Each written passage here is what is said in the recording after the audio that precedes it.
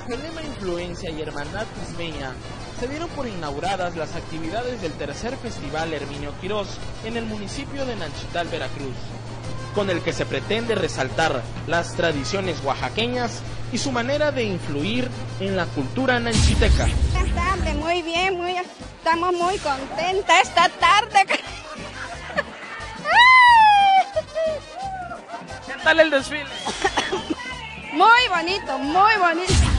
Este evento que dirige el licenciado Johnny Holland ha tenido muy buena aceptación desde hace tres años que se empezó en el municipio de Nanchital. Bueno, mira, el nombre lo lleva por esta persona que comentaba. Él escribió algún libro que se llama Crónicas de Nanchital.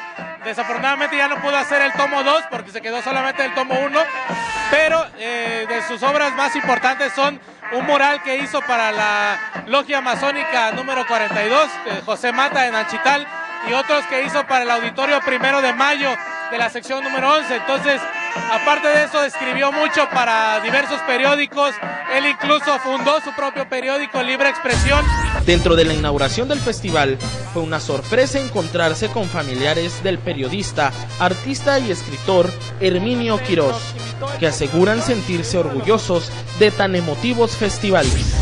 Eh, muy contenta porque él fue una persona que siempre trató de, de aportar algo a la cultura, eh, especialmente aquí en Nanchital, que nos abrigó con tanto amor y siempre fue muy eh, preocupado de fomentar de alguna forma lo que era la cultura.